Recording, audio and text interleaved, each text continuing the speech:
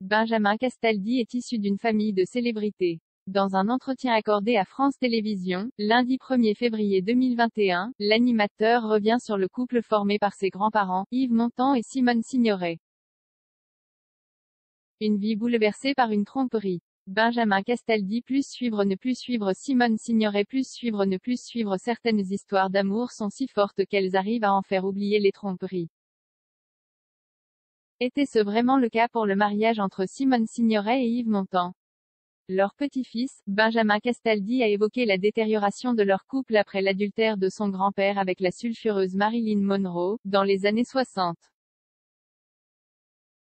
Rien ne sera plus jamais pareil après Marilyn explique le chroniqueur de Touche pas à mon poste dans un portrait diffusé sur France 3, lundi 1er février 2021.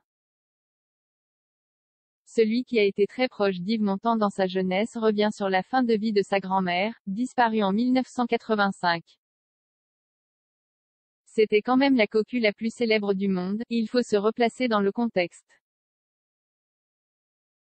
Elle a pardonné aux yeux du monde, mais toute la fin de sa vie a été rythmée par cet épisode.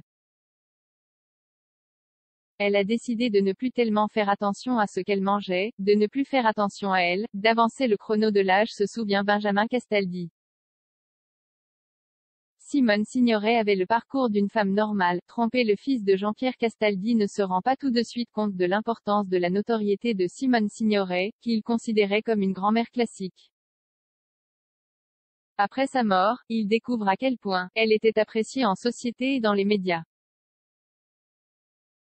Je pense que c'est pour ça qu'à l'époque en son temps elle a été si populaire et si proche des femmes, parce qu'elle avait le parcours d'une femme normale, trompée, le pardon et puis tous ses combats à côté des femmes, pour les femmes. Confie-t-il avec admiration. Publiquement, Simone Signoret n'a pas pris la parole à ce sujet.